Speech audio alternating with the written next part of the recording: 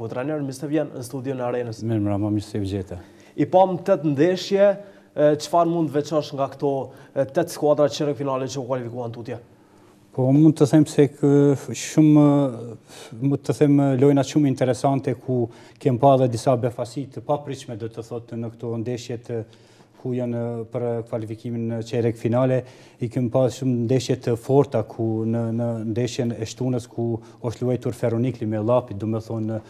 kualitetet e dy ekipeve janë të baraspeshuara dhe e pamë që do të thotë një koncentrim pak ma i mirë, ma i lartë te, Feroni, te, te Llapi, ku dy herë avancoi gjatë lojës 90 minutëshe dhe me penalti, do të thotë penaltitë janë fat, Mirëpo, duhet të lavdërojmë Llapin, i cili me një karakter, me një moral, me një vetëbesim, edhe nuk është çudi që është më tutje në çerekfinale. Një sinjal ky i fortë i ekipit të Batatinës që mbase mund të luftojë edhe për titullin? Po është, Batatina është një trajner i cili është motivues shumë i madh, do të thotë është një gjë pozitive për ekipin i cili po korr suksese ndeshje mbas ndeshje ku edhe kjo në ndeshjen e parë ka treguar se do të jetë një arrë e fortë për ndeshje për klubet e tjera të Superligës. Diçka interesante nëse mund ta quaj kështu në këtë fundjavë, ishte lëndimi i futbollistëve kryesorë të disa skuadrave, për shembull Debatik Curri u lëndua në ndeshjen Vëllaznimi Prishtina, Mentor Zhdrella, ylli i Feronikelit, po ashtu u lënduan edhe dy lojtarë të Dritës, Taulant Haliti dhe super përforcimi Nderim Nexhipi. Pse mendon që këto këto lëndime pikërisht në xhiron e parë është fakti që pauza ka qenë shumë e gjatë përgatitjet e skuadrave? Shikoni është një temë shumë shumë shumë e prekshme, do të thotë ne hala jemi mrapa profesionalizmit, do të thotë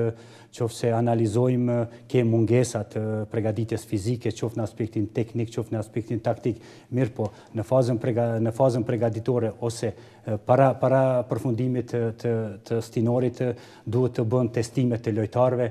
në aspektin fizik do të thotë aerob, anaerob dhe ashtu të shkojnë me një program te shpia, do të thotë me një program dhe kur vijnë i kemi saatat polar që do të thotë çdo lojtar të ketë saatin polar edhe edhe testin e zemrave ku këtu e kam unë një që do të thotë ky është marrë diçka vetë. Po, këtu është një saat polar që lojtari i obligueshëm është në çdo stërvitje ta ketë. Apo një një kjo është e zemrës e cila në çdo stërvitje duhet ta ketë dhe sipas asaj bëhet testimi trajneri kondicional Në çdo stërvitje e pregadit dhe e bën programin se si duhet. Ne nuk kemi testime të fazës pregaditore, do të thotë qoftë në aspektin anaerob, qoftë në aspektin aerob, qoftë në aspektin e pregaditjes së muskulaturës, ku kemi, që këtu e kemi si bëhet ai laktatesti të marrjes së gjakut në aspektin në në bandë, Do të thotë edhe ku simbas kësaj po përpunohet përpunimi përpunimi që shikoni këtu edhe kemi muskulaturat e kvadricepsit, të tricepsit dhe simbas asaj bëhet programi i këtyne ngarkesave dhe çdo lojtar e ka këtu sa e ka këto dhe del ashtu treneri dhe e përpunon. Për atë arsye vijnë lëndimet se ne nuk kemi trenera kondicionel.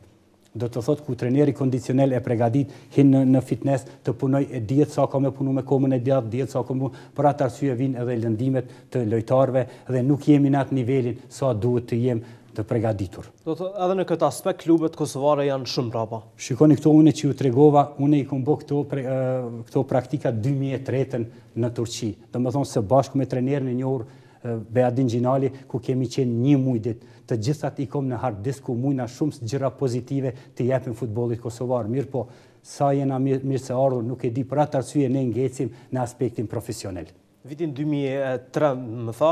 do thotë katërmbëdhjetë vite dhe në futbollin kosovar nuk aplikohen ende Që ashtu, që ashtu, që çdo çdo lojtar këtu del me këtë me këtë program të fitnesit, hin mrena edhe din sa çka të punojë, domethonë se edhe ka programin e vet. Gjithashtu edhe në vrapimet, gjithashtu edhe ato, domethonë kurrgjo nuk ka rastësisht. Për atë arsye ne kemi mungesë edhe drejtorave sportivë, kemi edhe njerëzve këshilltarëve që duhet të përcjellin trenerat se sa janë të ngritur në aspektin profesionel. A beson që një gjë e tillë është për shkak të neglizhencës së kryesisë klubeve apo për shkaqe financiare? Po shikoni edhe kryetari i shtetit e ka këshilltarin e vet do të thotë edhe kryetari qofse nuk vjen nga lamia e kësaj lëmisë duhet të ketë këshilltarin i cili vin nga kjo lamia edhe të jetë urë lidhëse ndërmjet kryetarit drejtori sportiv edhe treneri dhe të bin ku janë problemet pse po çfaqen këto probleme pse kemi jemi mrapa shumë rajonit mos të thom Evropës do të thotë në çdo aspekt qoftë në aspektin e lojës, qoftë në aspektin dinamik, qoftë në agresivitet,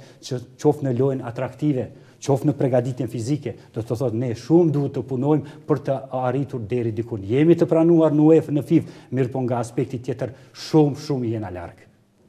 Një mendim i fundit edhe për fillimin e stinorit pranveror të Vala Superligës, fillon në fundjavë,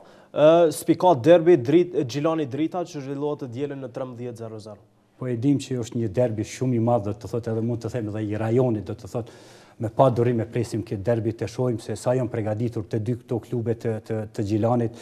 Besoj se Drita ka një përparësi, mund të them, e cila ka një motiv o përforcu, ka ndru dhe si në atë aspekt mirëpo në aspektin, në aspektin në fushë kemi po shohim ka lëndime, do të thotë dy lojtarët të lë kryesor nderim në gjipi osht i lëndum a do të luj a nuk do luj osht një hendikep i madh për dritën mirpo edhe në anën tjetër gjilani osht i motivum në aspektin tjetër dhe këtu nuk ka favorit do të thot në derbi nuk ka favorit edhe vitin e kaluar gjilani ka fitu me një zero besoj se ma s'pari do të jet fair play në nivel të lart të prezentojm gjilanin të prezentojm kosovën edhe atëher me një loj të bukur të tregojm se kush o ma i mirë.